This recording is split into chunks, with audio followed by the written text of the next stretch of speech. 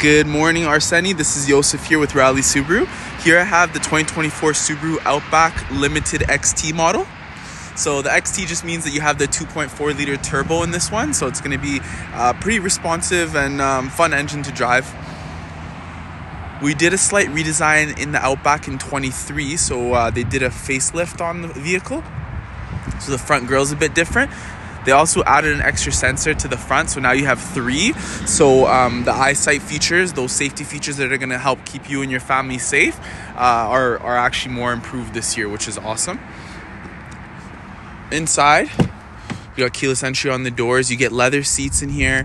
You have the upgraded Harman Kardon sound system as well, and you do get memory seats, as well as a driver monitor system and driver focus. So you're gonna have tons of utility with that. You're gonna be able to save more than five drivers in the vehicle.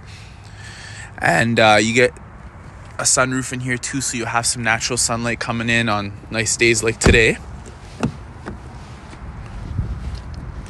You do get a, a smart trunk liftgate. Front seats and steering wheel are going to be heated. Same with the the back seats are going to be heated too. So, yeah, and a good amount of space back here for any friends, family, coworkers that might be riding with you. Good amount of space in the hatch here too, and you do have a cargo tray already as well. You get back sensors on the vehicle as well as uh, reverse collision on there, and you do have a subwoofer in the back too. So this is a hands-free tailgate as well. So you will be able to open it up just by hovering um, like your arm over the Subaru logo in the back there. But yeah, that was a quick walk around on this Outback. Um, I have this one and a few other ones coming in as well.